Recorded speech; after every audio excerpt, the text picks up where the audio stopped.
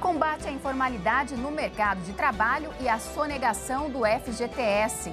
O Ministério do Trabalho e Emprego anunciou que vai apertar a fiscalização. As medidas devem elevar as receitas do FAT, Fundo de Amparo ao Trabalhador, do FGTS e da Previdência Social em 5 bilhões de reais até o fim deste ano. Acompanhe na reportagem.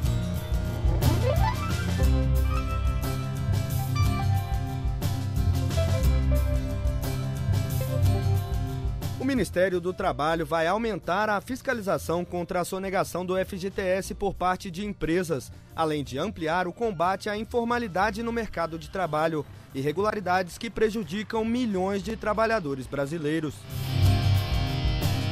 A estimativa do Ministério do Trabalho é que as medidas anunciadas provoquem um aumento das receitas do Fundo de Amparo ao Trabalhador do FGTS e da Previdência Social de mais de 5 bilhões de reais este ano.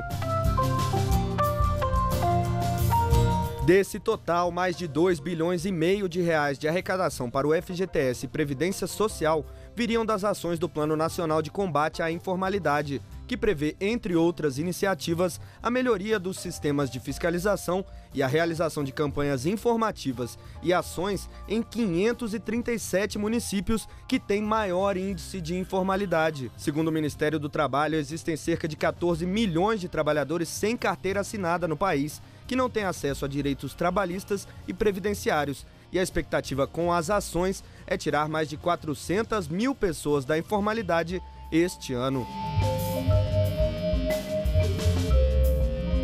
Na terceira fase do programa de fiscalização eletrônica, a meta é recolher e notificar mais de 2 bilhões e 600 milhões de reais este ano e garantir que os valores devidos aos trabalhadores sejam depositados nas contas vinculadas.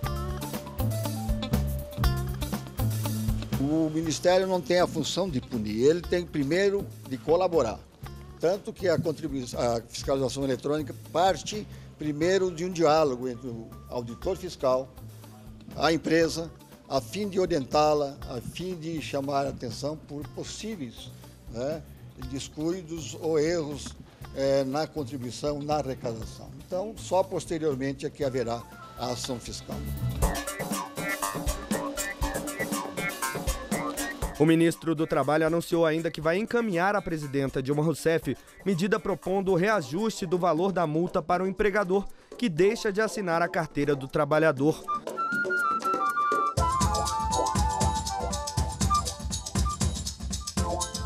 Essa é outra ação que nós devemos lançar que implica no levantamento e na digitalização de 400 mil multas que estão amontoadas no Ministério do Trabalho elas são multas que há 20 anos não são corrigidas. A nossa proposta é de aumentar as multas, a fim de que elas possam representar um acréscimo e uma atualização desses valores. Os valores desses valores o corpo técnico está discutindo e ainda não concluiu qual seria a proposta.